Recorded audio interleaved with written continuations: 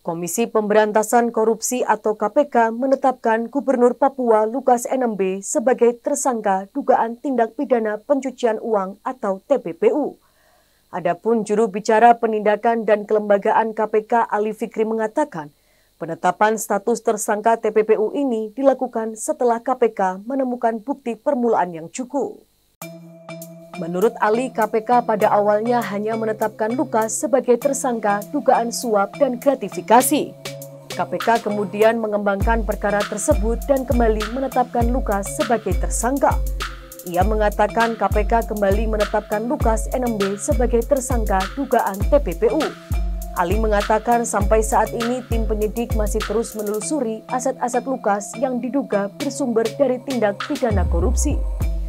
KPK berharap melalui penetapan kasus TPPU ini, Lukas tidak hanya jerah, namun negara juga menerima aset recovery atau pemulihan aset secara maksimal.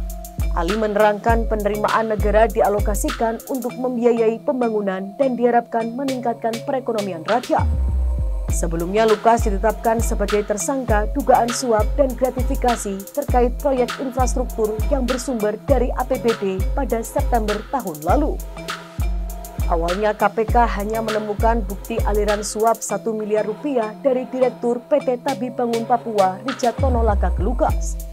Dalam persidangan Richard Tonolaka yang digelar di Pengadilan Tindak Pidana Korupsi Jakarta Pusat terungkap jumlah suap yang diberikan kepada Lukas mencapai 35,4 miliar rupiah.